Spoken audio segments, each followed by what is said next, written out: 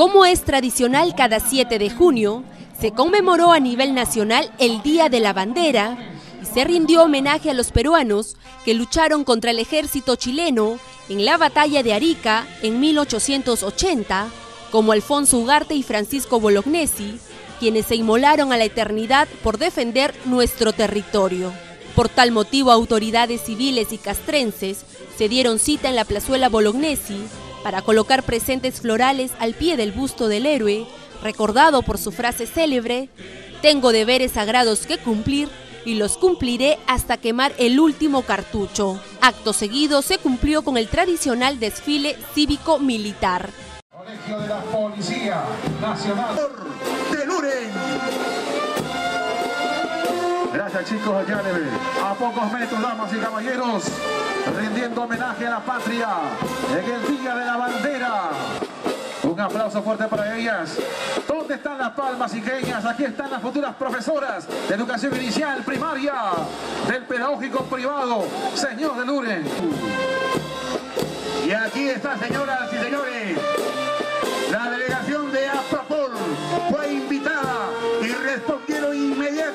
inmediatamente a APROPOL en la pista de desfile paso en el desfile. Aquí están los futuros policías. Bandera a la de la victoria. Bendita seas, oh bandera a la de la victoria. Allí donde haya luz y alma y amor y heroísmo. Orgullo con gallardía. Y esta la manera de dejar la energía, el sudor, el punto honor, el amor a la patria y el amor a su institución.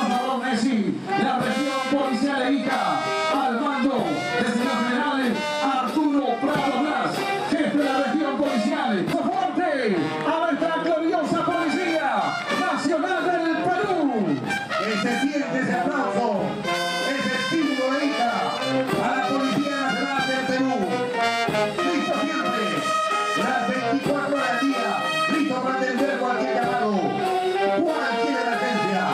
Policía Nacional del Perú.